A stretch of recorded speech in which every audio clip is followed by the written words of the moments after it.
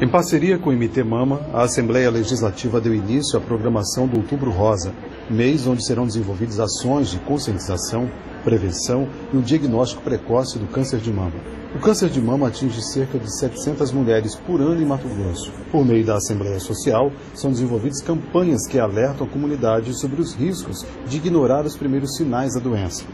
Para esse ano, uma inovação Segundo a diretora da Assembleia Social, Daniela Paula Oliveira, mulheres de baixa renda ou em situação de vulnerabilidade social serão atendidas com exames e cirurgias.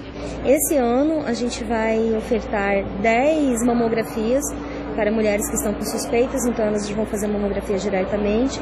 E nós vamos ofertar 10 micropigmentações cirúrgicas de reconstituição de auréola mamária para mulheres que já retiraram o seio. Assim eleva a autoestima, é um cuidado e um acolhimento.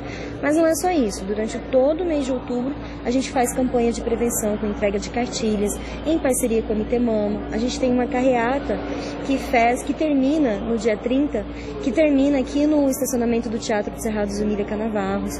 Então, a gente tem uma série de ações para a conscientização do toque, da prevenção e também, principalmente, para fazer esse acolhimento a essas mulheres.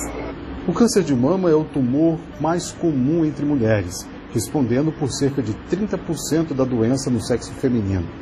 O autoexame e a visita periódica ao profissional de saúde pode evitar casos de mutilações e mortes.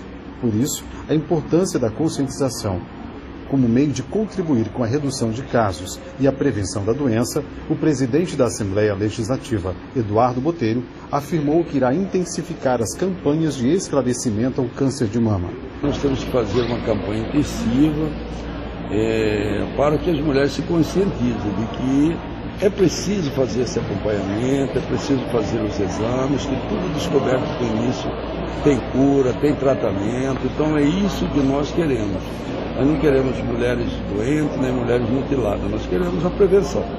E essa prevenção nós estamos fazendo essa campanha, estamos fazendo alguns tratamentos também, mas sobretudo a campanha de conscientização e que as mulheres possam bem cedo acompanhar isso para que não, se tiver alguma coisa, descubra logo no início e faça o tratamento. É isso que nós queremos.